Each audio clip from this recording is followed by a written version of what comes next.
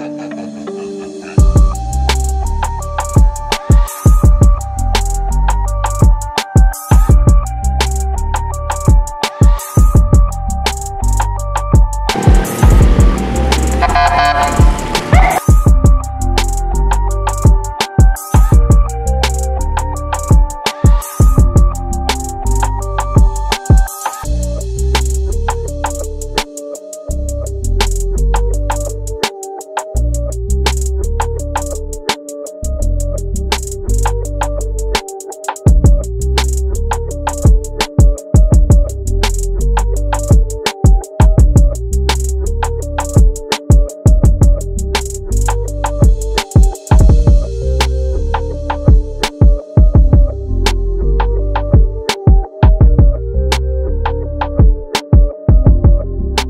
Kita melaksanakan pemantauan, monitoring berkaitan dengan surat edaran wali kota Tegal tentang eh, program jateng di rumah saja.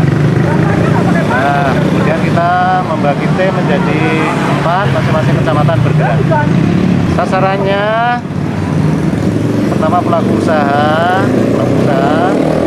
Yang kedua juga eh, masyarakat, masyarakat yang belum keluar rumah tidak melaksanakan protokol kesehatan itu yang eh, kita sasar pada kegiatan.